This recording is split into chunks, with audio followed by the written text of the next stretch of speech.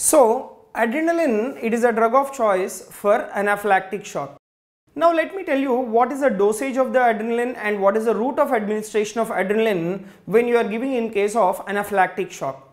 Now you take this adrenaline whenever you are giving this by intramuscular or subcutaneous route. Right, when you give this adrenaline via intramuscular or subcutaneous route, it is given of 5, 0.5 ml is given and 0.5 ml of 1 is to 1000 solution. So the dilution should be 0.5 ml of 1 is to 1000 solution. Right?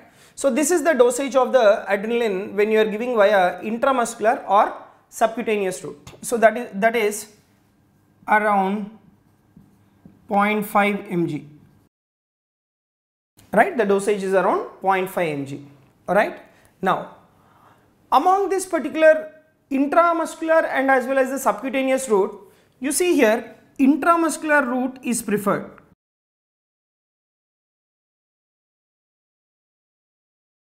Right? Intramuscular route is preferred. And that too at which particular place? That is on the lateral thigh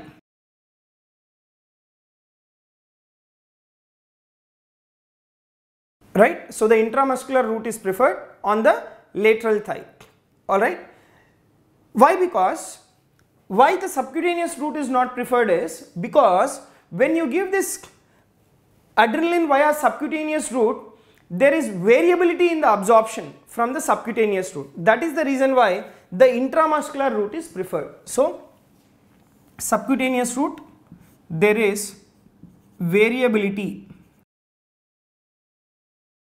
of absorption right? At various different sites okay? Now you take another route that is intravenous route. So intravenous route is avoided, right? Intravenous route as such it is avoided, but it can be used rarely and that too if you are giving in via intravenous route, it is given at much lower concentration, right? So intravenous route it is avoided. If at all it is given, it is given rarely, right? It is given rarely and that should be given at low concentration right that should be given at low concentration. So that particular low concentration is around 1 is to 10,000 right that particular low concentration is around 1 is to 10,000 right. So that is whenever you are giving this adrenaline via intravenous route. Next if you take this adrenaline like adrenaline combination of the local anesthetic right local anesthetic we give uh, either subcutaneously or intradermally so, if at all if you want that the action of the local anesthetic has to be increased that means if the duration of the action of the local anesthetic if it has to be prolonged what you have to do is local anesthetic have to be combined with the adrenaline. Why local anesthetic has to be combined with the adrenaline is because adrenaline will cause the vasoconstriction in that particular area so, local anesthetic will not be absorbed into the systemic circulation and thereby the duration of action of local anesthetic will be increased. Alright. So, remember adrenaline will prolong the duration of action of the local anesthetic right will prolong the duration of action of the local anesthetic how it will increase the duration of action of the local anesthetic? Because adrenaline will cause vasoconstriction in that area. Because there will be vasoconstriction in that area, local anesthetic is not absorbed, right? Not absorbed into systemic circulation. right it is not absorbed into the systemic circulation. So remember this point. This is a very very important point. Next.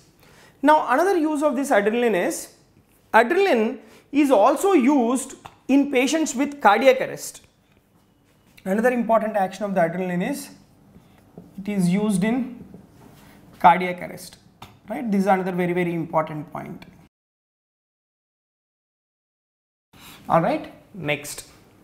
Now, whenever you are giving in case of cardiac arrest, right? Whenever you are giving adrenaline in case of cardiac arrest, the preferred route is the intravenous, right? The preferred route is intravenous. Followed by the intravenous route, the adrenaline can be given either by the intraosseous route and as well as the endotracheal route, right? Followed by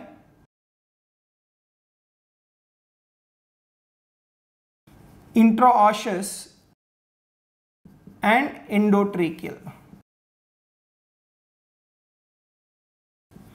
Okay, intraosseous and endotracheal. All right.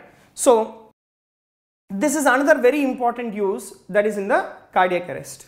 Now, if you take this adrenaline, depending upon the concentration of the adrenaline, this adrenaline is used in many conditions. I'll tell you, adrenaline depending upon its concentration and depending upon its route of administration, it is used in various conditions, right? Let me discuss that. Before that, you see here, adrenaline is a drug of choice for anaphylactic shock. It is given either intramuscular or subcutaneous route. At a dosage of 0.5 ml of 1 is to 1000 solution that is around 0.5 mg. And between these two routes intramuscular route is more preferred and that too in the lateral part of the thigh. Whereas the subcutaneous route why it is not preferred is because of the variability of the absorption at different subcutaneous route. And intravenous route as such it is avoided. Why? Because the why it is avoided is because of its increased efficacy that is the reason why it is avoided. If at all if it is used, if it, it is used rarely and that too it should be used at very low concentration of a dilution of 1 is to 10,000. And adrenaline when it is given along with local anesthetic it will prolong the duration of the local anesthetic. What adrenaline will do is it will cause vasoconstriction in that particular area and thereby the local anesthetic is not absorbed into the systemic circulation. And the other place where we use this adrenaline is it is used in cardiac arrest, right? The route of administration is intravenous route followed by that intraosseous and as well as the endotracheal route of administration has to be given in patients with the cardiac arrest. Now let me discuss the concentration of the adrenaline for different routes and as well as the indications.